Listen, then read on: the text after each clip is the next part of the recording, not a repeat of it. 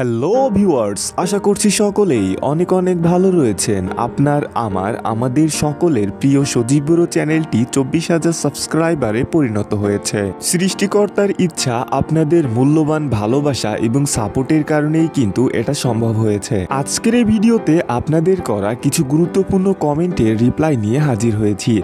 So আজকের এই ভিডিওটা অনেক অনেক গুরুত্বপূর্ণ হতে চলেছে। সো ভিডিওর একটা সেকেন্ডও স্কিপ না করে সম্পূর্ণ ভিডিওটি দেখতে থাকুন। আর আমাদের চ্যানেলে নতুন দর্শক হয়ে থাকলে অবশ্যই অবশ্যই চ্যানেলটি সাবস্ক্রাইব করে পাশে থাকা বেল আইকনটি অল করে দিন। এই কমেন্টের মাধ্যমে জানতে চাওয়া হয়েছে, প্লেয়ারগুলোকে আগে ম্যাক্স করাইলে ভালো হবে নাকি আপডেটের পর ম্যাক্স করাইলে ভালো হবে? আমি রিকমেন্ডেড করব প্লেয়ারগুলোকে আপডেটের পর ম্যাক্স করানোর জন্য। কারণ তখন অনেক প্লেয়ারের রেটিং কিন্তু বেড়ে যাবে। যে সকল প্লেয়ারের রেটিং বেড়ে যাবে, সেই প্লেয়ারগুলোকে দেখে, বুঝে শুনে আপনি যদি ম্যাক্স করান, তাহলে কিন্তু আপনি লাভবান হবেন। এই কমেন্টের মাধ্যমে জানতে চাওয়া হয়েছে, আইডিতে ছয় থেকে সাত দিন ধরে কোনো অ্যাড আসতেছে না। সো, আমি আগে অনেক ভিডিওতে বলেছি যে ডিএলএসের অ্যাড কিন্তু লিমিটেড। অর্থাৎ, আপনি দিনে বেশ কিছু অ্যাড দেখতে পারবেন, তারপর আর অ্যাড আসবে না।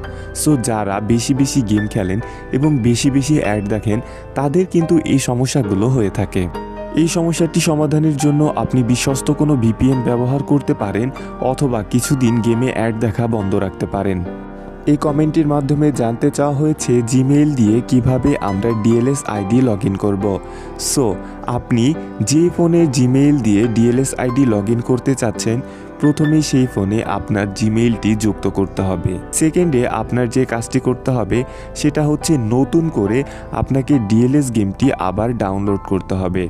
ডাউনলোড করার পর সিম্পলি আপনি যে জিমেইলটা যুক্ত করেছেন, সেই জিমেইলটা কানেক্ট করার সাথে সাথেই আপনার আগের আইডিটি চলে আসবে। এই কমেন্টের মাধ্যমে জানতে চাওয়া হয়েছে মার্টিনেজের রেটিং বাড়বে কিনা। সো ডিএলএসে কিন্তু অনেকগুলা মার্টিনেজ রয়েছে। সো আপনি যদি আর্জেন্টিনার গোলকিপার ইমিলিনো মার্টিনেজের কথা বলেন, তাহলে বলব হান্ড্রেড পার্সেন্ট রেটিং বাড়বে।